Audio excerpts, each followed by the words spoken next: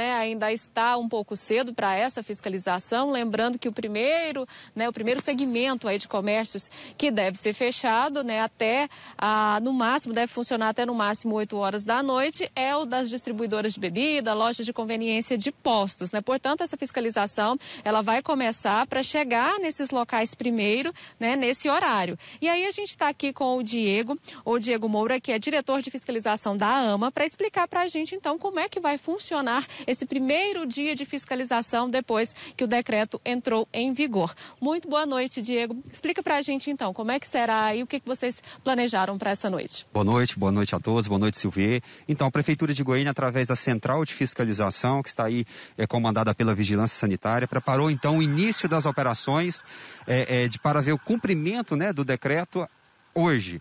E hoje nós estamos aqui uh, reunindo né, todas as equipes aqui no setor marista, mas iniciaremos às 19h30 em toda a capital, com a presença aí da Guarda Civil Metropolitana e da Polícia Militar, que já está é, espalhadas aí em, em todos os pontos da nossa capital, e a central de fiscalização concentrada aqui na região do setor Bueno, setor marista.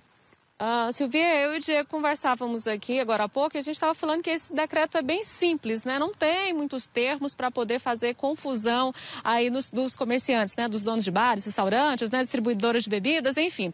Ontem, quando a gente entrou ao vivo, assim que o, o decreto saiu, a gente falou, né? Na informação que tinha sido repassada para a gente na hora, que o som, né? Tanto é ao vivo quanto o som mecânico só poderia né, ter o funcionamento ali, né? A partir até 20 horas. Na verdade, só esclarecendo, isso é até às 22 horas. E o comércio, né, fora essa questão aí das distribuidoras de bebidas e também a questão das lojas de conveniência, funciona até às 23 horas. É isso, né? Exatamente, é isso mesmo. A, a, ficou diferente, né, os horários, mas é exatamente isso. Então, distribuidora de bebidas e lojas de conveniências, o horário permitido para o funcionamento é às 20 horas. Então, nossas equipes iniciará aqui agora horas, já verificando o cumprimento desse horário. E às 23 horas para bares, restaurantes e, e, e similares. Lembrando que, mesmo os bares, os restaurantes, é, é, é, situações, é, esses empreendimentos,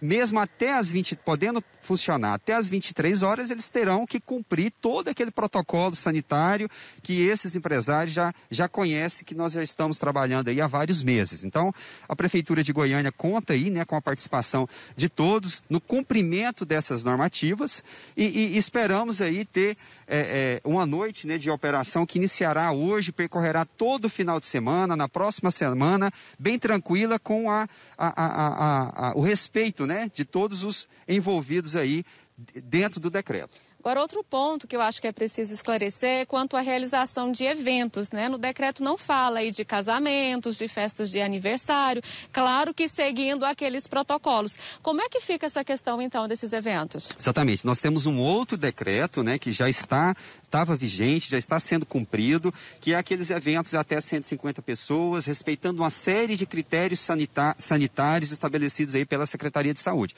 Isso vai continuar sendo visto. Lembrando que há alguns ajustes, né? O uso da música até às 22 horas, tem que ter todo o protocolo de segurança estabelecidos aí pela vigilância sanitária, tem que estar sendo cumprido à risca. E para aquelas festas clandestinas, marcadas aí na madrugada, via rede social, é, sem critério nenhum, nós estaremos também de olho, né? Então, nossas equipes aí, tanto da Guarda Civil Metropolitana quanto da Polícia Militar, estará em toda a capital vistoriando aí esses locais que nós já é, sabemos que tem, acontece esses eventos, a fim de fazer o trabalho preventivo. Nesse primeiro momento, estamos aí é, orientando a população, é, faz, esperando né, que cumpra todo esse, esse, esse acordo, esse decreto, para que não haja aí o desgaste de uma autuação, de um embargo, de uma cassação de, de um alvará, de uma licença, até mesmo de uma multa, né?